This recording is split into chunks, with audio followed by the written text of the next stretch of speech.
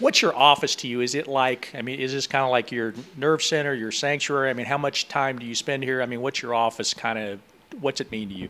Well, it's it's everything. As, as you started to ask the question, I started to think about it.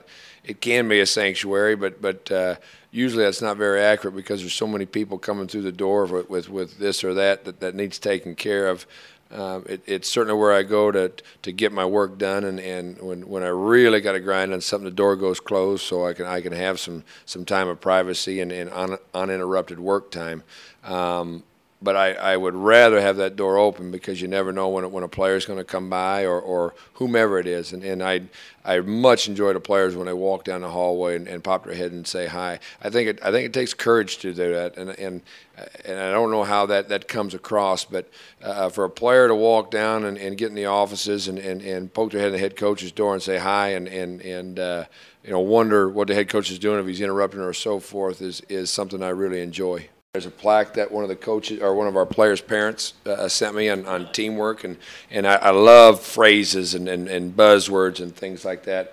There's a, there's a shot of my motorcycle that I currently ride, uh, a picture of my mother who, who, uh, who suffers from Alzheimer's disease, and, and, and that picture of her is, is, is her and and that that person doesn't quite exist anymore. Uh, Louis L'Amour books that that, that a, a fan uh, sent me. Uh, they got they got word that I was a fan of Louis L'Amour and his stories, and, and, and they dropped that into me in the mail, which I'm very appreciative of. Of course, you got all the the, the cyclone pictures.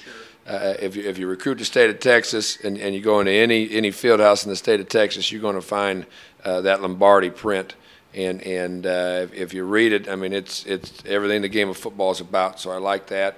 I mean, I know you've had offices as a coordinator. Is it is it different to have an office as a head coach?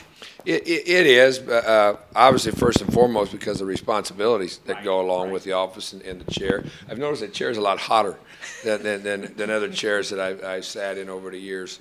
Um, uh, the head coach's office is, is, is a good bit bigger than, than any office that I've, I've, I've sat in. It, it uh, I, I think it, it speaks of my personality when you walk into it.